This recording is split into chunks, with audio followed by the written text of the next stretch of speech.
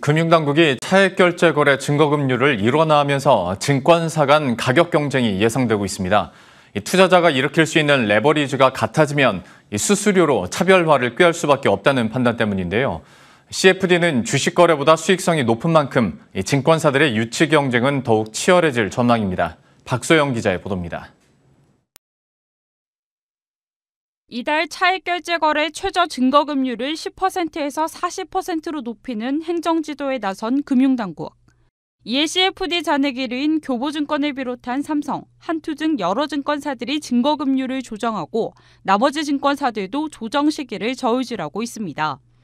CFD는 개인이 실제로 주식을 매수하지 않고 주가의 변동에 따른 차익만 얻는 장외 파생 상품입니다. 이전까지는 최소 10%의 증거금으로 최대 10배까지 레버리지를 일으킬 수 있었지만 40%로 증거금이 상향되면 2.5배 레버리지가 최대입니다. 증권사별로 달랐던 CFD 증거금률이 일원화되면서 CFD 수수료 경쟁이 촉발될 것이라는 전망이 나옵니다. 실제 올해 4월 CFD 시장에 진출한 삼성증권은 CFD 수수료율을 0.07%로 인하하며 업계 최저를 선언했습니다. 고액 자산가와 전문 투자자 비중이 높은 만큼 CFD를 통해 다양한 자산 관리를 제한하기 위한 포석으로 분석됩니다.